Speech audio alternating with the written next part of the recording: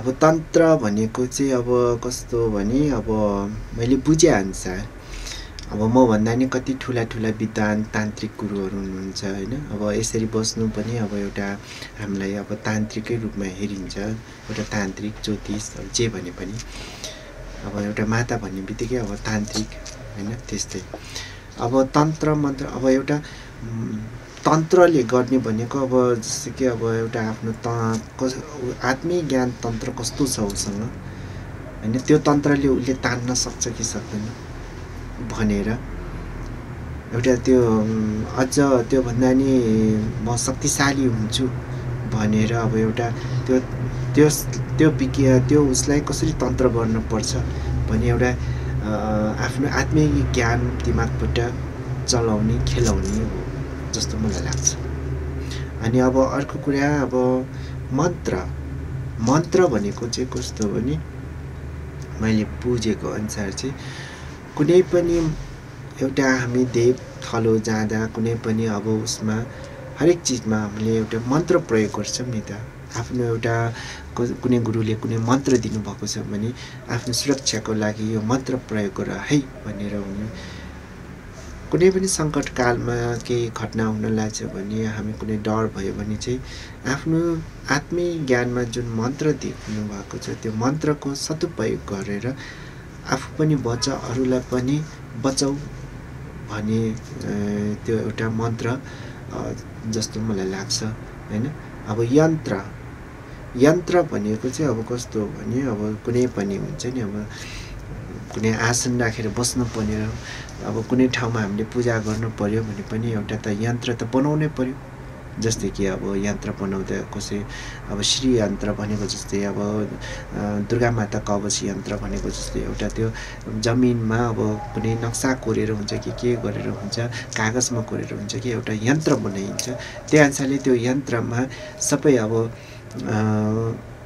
देवी देवता आफ्नो जुन आफूले मानेको जुन इष्ट देवीहरू हुनुहुन्छ कि इष्ट देवताहरू हुनुहुन्छ कि उहाँले बिचभूमिमा बस्नुहोस् विराजमान हुनुहोस् यो यन्त्रमा भनेर आह्वान गरेर तेत्तिस सय कोटी देवी देवताहरूलाई पनि त्यो यन्त्रभित्र एउटा राख राख्ने क्षमता ममा जागोस् भनेर भगवान्लाई एउटा यन्त्रबाट पनि यसरी विराजमान गराउन सकिन्छ भन्ने एउटा हो कि जस्तो मलाई लाग्छ। पक्कै पनि स्पष्ट पारिदिनु भयो। यहाँलाई धन्यवाद। अबका दिनमा के सोच्नु भएको छ के गर्ने सोच प्लस योजनाहरू छन् नि? अब अबको दिनहरूमा सोच योहरू चाहिँ मलाई मेरोमा चाहिँ के छ भने ज्ञान एउटा अब आया अबको दिनहरूमा चाहिँ अगाडिको अब पछाडिको दिन त जे भयो भयो। अगाडिको दिनहरूमा चाहिँ मैले जानेको ज्ञानहरू होइन अहिलेका अब यो चढ्ती कला देखेरै हामी धेरै थाकिसक्यौँ कि। युवा पुस्तकहरूलाई चाहिँ एउटा भक्ति मार्गमा डोराउन सकौँ। एउटा ज्ञानको मार्फतबाट। उनीहरू एउटा ज्ञानमा पनि जुनै पनि जसले अब कसैले गणेश भगवान् मान्नुभएको हुन्छ कसैले भगवान् शिव मान्नुभएको हुन्छ कसैले महाकाली माता मान्नुहुन्छ कसैले मा दुर्गा मान्नुहुन्छ भने जुन भगवान् उहाँहरूले मान्नुभएको छ राम सिया लखन हनुमानजी त्यही हिसाबले नै हामीले उहाँहरूलाई भक्ति मार्गमा ल तिमीले ठिक छ यो भगवान्लाई यसरी जप गर्नु होइन र भगवान्लाई मान्यो भन्दैमा आफ्नो कामकाज लठलिङ्ग छोड्ने पनि होइन काममा पनि ध्यान दिनु र कामको साथसाथै आफ्नो धर्ममा पनि अलिकति समय दिनु र जतिखेर नै काम गरे पनि भगवान्लाई सम्झिँदै तपाईँ काम गर्नुभयो भने तपाईँ आफ्नो कर्म गरिरहनु भएको हुन्छ। भगवान्ले चाहिँ तपाईँलाई गाइड गरिरहनुहुन्छ कि? स्वच्छ भाव स्वच्छ मन हुनु पऱ्यो किनभने मैले युवा पुस्तकलाई किन जोड दिएको भने अब त्यो आदि उमेर ढल्केका बुढापाकाहरूलाई आमाहरूलाई सिकाएर त काम छैन। उहाँहरू त सिकेर पनि पाकेर पनि होइन? आजीवन भइसके जस्तो मेरोलाई त अब सिकाएर काम छैन।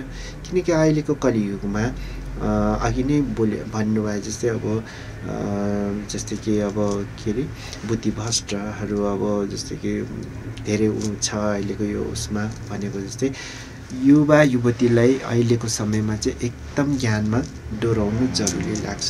म चाहिँ अहिलेको अब अब आउने समयमा चाहिँ यो गर्न भन्ने लाग्छ मलाई।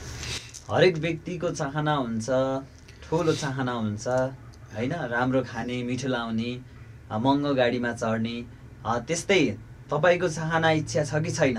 क्वेसन धेरैले सोध्नुभयो। मेरो अब म सानोदेखि नै होइन सत्यता अब सबैलाई थाहा नै छ। म सानोदेखि नै एकदम दुःखमै हुर्केँ। मलाई पनि एउटा एकदमै सोख छ नाम कमाऊ होइन? म धर्मबाटै नाम कमाउन सक्छु कि?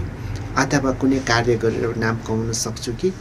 म त्यो हिसाबमा मेरो पनि सोच छ। अझ मलाई चाहिँ कस्तो सोख छ भने म भोकै बस्न नपरोस्। म बाहेक अरूलाई पनि भोकै बस्न नपरोस् होइन? मान्छेलाई का के अरे कपास घाँस बाँस यो तिन चिजको जडले हुन्छ भन्छ नि त। मलाई त्यस्तो महल पनि चाहिएको छैन। मलाई त्यस्तो हाइफाईको गाडी पनि चाहिएको छैन। हुन म मसँग अब त्यत्रो म यदि हाइफाई हुने भइदिएको भए त मेरो देउता बो भगवान् प्रवेश गरेर मेरो बोली फुट्नु भएको भगवान्ले बोल्नु भएको बानी त बानी त मेरो बासठी सालमा हो। बासठी सालबाटै त्यो सानो म बच्चादेखि नै यदि क्यामेराको अगाडि मिडियाको अगाडि म त्यतिखेरै म प्रचार भएको भए त मैले पहिला पनि भनेको छु। अरू मिडियाहरूलाई पनि होइन हजुरको मिडियामा पनि भनेको छु। कति म अगाडि पुगिसक्यो काठमाडौँमा त मेरो चार पाँचवटा घर त अहिले भइसकेको थियो। तर मैले त्यो लोभमा म गइनँ। किनभने लोभमा गएर के काम? जति आफ्नो ईश्वरले दिनुभएको छ त्यही अनुसारले चल्दै गएपछि आज नहोला भोलि त अवश्य नै हुन्छ होइन? मेरो अब इच्छा हाइफाई इच्छा चाहिँ के छ भने भगवान्को लागि म सानो मन्दिर एउटा बनाउनु पाऊँ। कसैले जमिन दान गरिदिनु हुन्छ कि? होइन। कसैले अब होइन हामी पैसा उठाएर राखिदिन्छौँ। यो मान्छेलाई यति दुःख छ होइन? भनेर अब उहाँहरूले आफ्नो सोच बनाएर एउटा कमिटी बनाएर पैसा उठाएर राखिदिनु र जमिन किनिदिनु भयो भने ठुलो पुण्य काम हुन्छ। उहाँहरूको ठुलो धर्म लाग्छ पनि उहाँहरूलाई। किनकि म एउटा जन्म दिने त मेरो छुट्टै हुनुहुन्छ कर्म दिने छुट्टै हुनुहुन्छ। मेरो हिस्ट्री त अब कतिले थाहा पाउनु भइसक्यो होइन? मेरो इच्छा चाहिँ त्यही हो। म मैले अब एकदम म हाइफाई भएर पनि म हिँड्न सक्दिनँ। हिँड्न पनि मलाई नपरोस्। किनकि भगवान्ले मलाई एकदम तास लगाइदिनु भएको छ कि। होइन? सबैले मलाई मान्छन्। तपाईँले ओहो अरूले एकदम हाइफाई देखाएर यस्तो हिँड्छन् तर तपाईँले त एकदम इज्जतको हाइफाई राख्नुभएको छ इज्जत कमाउनु भएको छ भन्नुहुन्छ। मलाई त्यो नै गर्व लाग्छ कि। त्यही। हस्। अहिले थुप्रै व्यक्तिहरूको शरीरमा काम्ने धाम्ने देखिरहेछ होइन? जस्तो एउटा गुरुको पनि आवश्यकता पर्छ यस्तो बेला र कसरी त्यो तिनीहरूले पार तर्ने कसरी कोहीले अब आफ्नो शक्ति बढाउन चाहन्छन् होइन? कसरी तिनीहरूले आफ्नो दैविक शक्तिलाई बढाउन सक्छन् त? के छ यसबारे बताइदिनुहोस् न। अब काम्ने धाम्ने चाहिँ अब के हो भने अब कसैको कुइलाहरू देउताहरू अब डामाडोल भयो भन्ने पनि काम्नुहुन्छ होइन? जो अब कसैको अब नराम्रो नजर लाग्यो। काला जादु गरेकोहरू यस्तो भएर पनि काम्नुहुन्छ। वायुहरू अब बिखाएर मरेका अब झुन्डेर मरेका अब यो बैतरी नतरेकाहरू आत्माले पनि सताएर काम्नुहुन्छ। त्यो कुन किसिमले काम्यो त्यो एउटा जान्ने कहाँ पुगेका छन् कि अथवा कुनै तान्त्रिक गुरु ज्योतिष कहाँ पुगेका छन् कि त्यो सबै त्यो केलाएर हेर्नुपर्ने हुन्छ।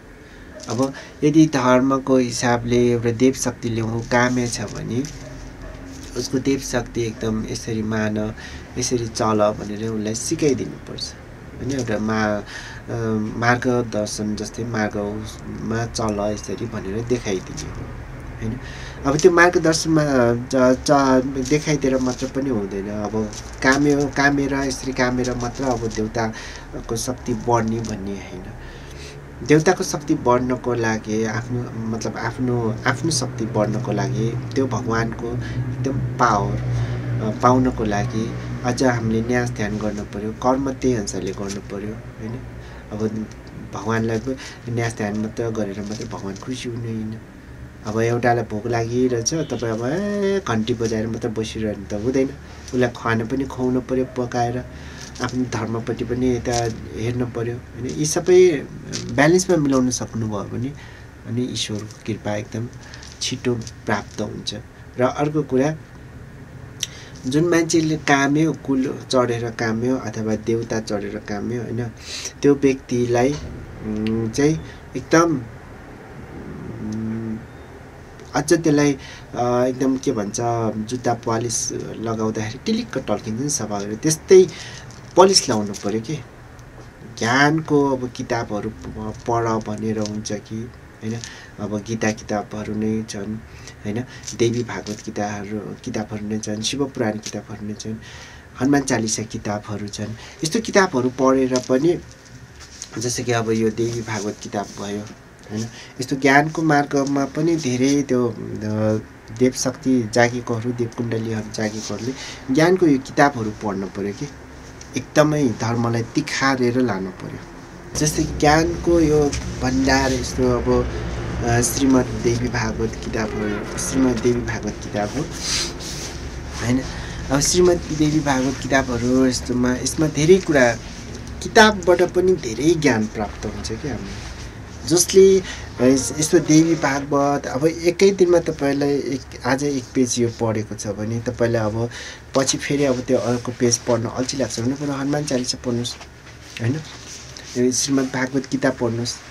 तपाईँले पढेको अनुसारले त्यहाँ दिमागमा राख्नुहोस् र त्यो धेरै बुझ्नु हुन्छ कि? ओहो यो भनेको यसरी रहेछ यो भनेको यसरी रहेछ भनेर होइन? अब तान्त्रिक शक्तिहरू होइन? राम रामजी राम भगवान्को पालामा नि थियो कृष्ण भगवान्को पालामा नि थियो होइन? जे पनि यो तान्त्रिक शक्तिले नै हाम्रो यो अड्केको छ भौगोलिक नै यो ऊ नै। त्यही भएर चान्चु नै थान्नुहुन्न। अब जस्तो कि तर जब उहाँलाई नै एउटा कुलदेउताको कृपा प्राप्त भएपछि जब उहाँलाई कुलदेउता चढिरहनु भएको बेलामा अरू बेलामा म नर्मली देख्छु एउटा साधारण मान्छे देख्छु भने जब कुलदेउता चढेर उहाँ उहाँको शिरमा कुलदेउताको प्रवेश भएपछि उहाँले मलाई स्वयं देवीकै रूप देख्नुभयो कि? होइन? जस्तो कि म यसरी अब बसिरहेछु भने यहाँ भगवती नै पुरै ठुलो जसरी फिल्ममा भगवती माताहरूको आठ हात दस हात नौ हात भएको हतियार लिएर बसेको। त्यस्तै उहाँले आफ्नो कुलदेउता चढ्नु भएको बेलामा साक्षात् मलाई भगवतीको रूपमा उहाँले देख्नुभयो कि होइन? हो त्यसरी एउटा देव शक्ति जागिसकेपछि त्यो क्षणिक उहाँलाई दर्शन दिनु थियो उहाँले देख्नुभयो। अब मेरो शिरमा भगवती माता विराजमान हुनुभएको होइन? यस्तो कुराले अब हामीले सही राह सही बाटो उसलाई देखाउन देखाइदिएपछि ज्ञानको किताब भण्डारहरू ज्ञानको भण्डार किताबहरू पनि पढ है यसरी चल्नुपर्छ भनेर हामीले उनीहरूलाई बुझाउनुपर्छ कि। त्यही मलाई त्यो चाहिँ मलाई एकदमै जरुरी छ जस्तो लाग्छ। यहाँ अब कतिकै ज्ञानको किताबहरू पढेको हुन्नन् ए ठुला ठुला कुरा गर्नेहरू कति छन्। त्यस्तो चाहिँ नहुनु। अब यस्तै किताबमा पनि अब श्रीमद् भागवतहरू शिवपुराण किताबहरू चाणक्यको किताबहरू होइन? हनुमान चालिसा भगवान्हरूको हनुमान चालिसा किताबहरू शनिदेवको नवग्रहको किताबहरू सबै छन् होइन? चण्डी पाठहरू भयो है? यस्तो यस्तो किताबहरू चाहिँ तपाईँहरूले एकदम पढ्नुहोला। विशेष गरी प्लस टू पढ्ने केटाहरू केटीहरू र यो एघार एसएलसी सकेपछि अलिक बिचको उमेर सुरु हुन्छ। होइन? अब एसएलसीमा त अब ठ्याक्कै चौध पन्ध्रमा त टिनेज एजै हो। यस्तो यस्तो व्यक्तिले चाहिँ एकदम पढ्नु जरुरी हुन्छ। होइन? ज्ञान मात्र त्यो कहाँ कम्फतेर मात्र पनि हुँदैन। अझ त्यसलाई ज्ञान प्राप्त गर्नलाई एकदमै ज्ञानको किताब पढ्नु होला। है? म चाहिँ भन्छु सबैलाई जय माताजी जयसम्म समय दिनुभयो। धेरै धेरै धन्यवाद तपाईँले। अब हामी अन्तिम अन्तिममा छौँ। अन्तिममा हाम्रो दर्शकहरूले के भन्न चाहनुहुन्छ? अन्तिममा म के भन्छु भने मलाई हिजो अस्ति एकदमै ख्याल आएको थियो। वास्तवमा भगवान्ले बानी गरेर दिनुभएको नाम मेरो अर्कै हो। होइन त्यो नाम मैले खुलाएको छैन। अब अब सुरुमा मैले अब राख्न खोजेको नाम मेरो अब आफूले बोलीचाली गरेको अब उहाँको नाम त म लिन्न तर उहाँ उहाँ उहाँले ठ्याक्क नाम चेन्ज गरेर नाम राख्नुभयो होइन? उहाँ त्यो नाम उहाँको मैले डारिस पनि गरेको होइन? तर भगवान्ले चाहिँ मलाई त्यो नाम दिनुभएको थियो तर त्यो नाम कसैले राखिन् यो नाम अर्को उसले राख्नुहुन्छ मलाई पूर्ण विश्वास छ भने नभन्दै त्यो भयो। होइन? र अब त्यही हो। अन्तिममा चाहिँ अब मेरो अझ पनि मेरो भगवान्ले दिनुभएको नाम त अर्कै छ। र अबको आउने पुस्ता युवाहरूमा चाहिँ हाम्रो एउटा देश नेपाल अब भनौँ न सगरमाताले चिनिने र धेरै मठ मन्दिरले चिनिने धर्मले चिनिने हाम्रो नेपाल हो। होइन? तपोभूमि भनेर। यहाँ कति युवाहरू अब बाहिर गएको छन् होइन? एक महिनामा उन्नाइस दिनमा गयो कि कति हो त? मैले त सत्ताइस लाख के अरे सत्ताइस लाख युवाहरू बाहिर गएको भनेर सुन्दाखेरि त छक्क परेँ म। भनेपछि हाम्रो जति पनि यो राजनीति दल नै रहेछ कि? राजनीति दलले गरेर यस्तो सबै बन्द भएको होइन? अब त्यो नहोस् चाहन्छु। सकेसम्म अब यो छ सय कति टाउके छन् यिनीहरू यत्रोले गरेर देश बिग्रिया हो कि? अहिले अब को जनता अब सबैले अब के गरेर अब श्रीलङ्का कि कुन देशमा नेता लहट्या जस्तै होइन? यहाँ पनि लहट्ने स्थिति के हुन्छ? भन्ने सबैलाई तराज भएछ त्यही कारणले गरेर पनि राजा ल्याउने भनेको। खाए एउटैले खाओस् चलाए एउटैले चलाओस् राम्रो हुन्छ। एउटा राजा हुन्छ एउटा प्रधानमन्त्री हुन्छ एउटा गृहमन्त्री हुन्छ भने। हो त्यस्तै। यहाँको कल कारखाना जुन तरिकाले पहिला पहिला चलाएको थियो त्यस्तै गरेर चलाउँ र युवाहरूले काम पाऊँ म यही भन्छु। यहाँ अब यहाँको नेपालको जति युवा जति सबै बाहिर भारतको युवा जति सबै यहाँ नेपालमा भित्रेर कति बिजनेस गरिरहेछ कति काम गरिरहेछ। भोलि अब यो युवा कम भएपछि यहाँ बुढापाका मात्र अलिअलि बाँकी हुन्छ अनि ठ्याक्कै त्यही मौका छोपेर चाइना र भारतले नेपाललाई कब्जा गरिदिन्छ। होइन अहिले अब हल्लै त्यही भइरहेछ। है हो सकेसम्म चाहिँ हाम्रो देशलाई चाहिँ जोगाउनको लागि अहिलेका पुस्ता युवाहरूले पनि नयाँ सोच बनाएर कदम चाल्नु होला भन्छु म। सबै विदेशै गएर मात्र समाधान हुँदैन। होइन? त्यहाँको विदेशमा चाहिँ कस्तो हो भने अब त्यहाँ खटेर काम गरिन्छ। खटेर काम गरेको हिसाबले अब जोगाइन्छ भन्ने एउटा आफ्नो दुःख परेको हुन्छ। त्यस्तै खटेर यहाँ गरे पनि जोगिन्छ कि? कतिपय पुस्ता अब युवाहरू मैले यहीँ काममा पैसा जोगाएको पनि देखेको छु होइन? उहाँको पैसा अब यहाँ नेपालमा अलिकति साट्दाखेरि धेरै हुन्छ त्यति मात्र फरक हो। है त्यही भन्छु म